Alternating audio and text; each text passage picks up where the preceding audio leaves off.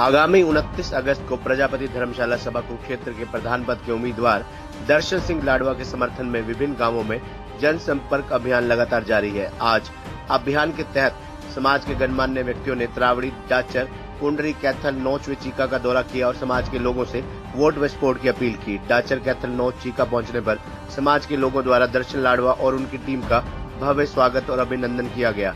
कैथल में Jaipal Prajapati retired bank manager के निवास पर कार्यक्रम का आयोजन किया गया समाज के लोगों को संबोधित करते हुए।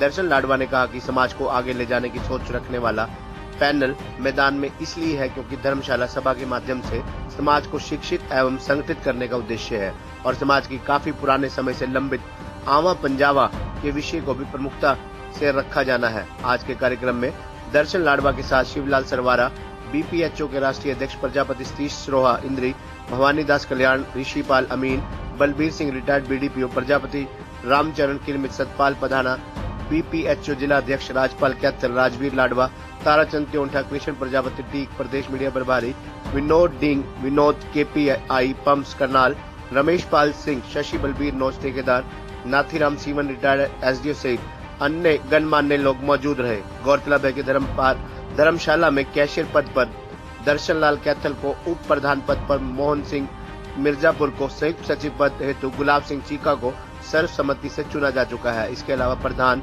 महासचिव व छह सदस्यों के लिए चुनाव होना है। सभी ने चुनाव में शांति बनाए रखने व भाईचारे को कायम रखने का आह्वान किया।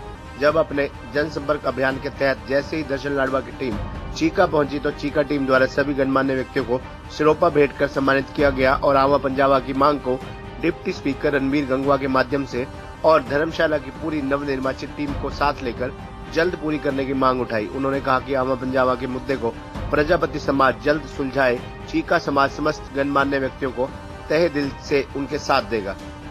रिटायर्ड पीडीपीओ पंद्रह में रिटायर हुआ था और समाज ने मुझे सर्वसम्मति से का प्रधान नियुक्त किया मैंने अपने तीन साल के कार्यकाल के अंदर यहाँ पर कमियाँ थी, उन कमियों को पूरा कर दिया। सभी बिल्डिंग्स जो है पूरी कर दी गई हैं। भोजनालय लाइब्रेरी वगैरह के सभी कार्य जो है ना धर्मशाला में पूरे हो चुके हैं। और मैंने एक सपना देखा था कि मैं किसी प्रकार एक स्कूल निर्माण कर सकूँ।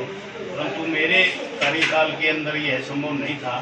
लेकिन मैंने इसकी भूमिका के लिए साढ़े इकतीस लाख रुपए की एफडी अपने समय में धर्मशाला के नाम करवा करके मैं तब अपने पद से मेरा कार्यकाल पूरा हुआ। उसके पश्चात इस कमेटी ने जो वर्तमान कमेटी है, इस कमेटी ने भी उस साढ़े इकतीस लाख रुपए को अस्सी से और बयासी लाख रुपए तक लगभग फिक्स डिपॉजिट के अंदर तब्दील कर दिया है।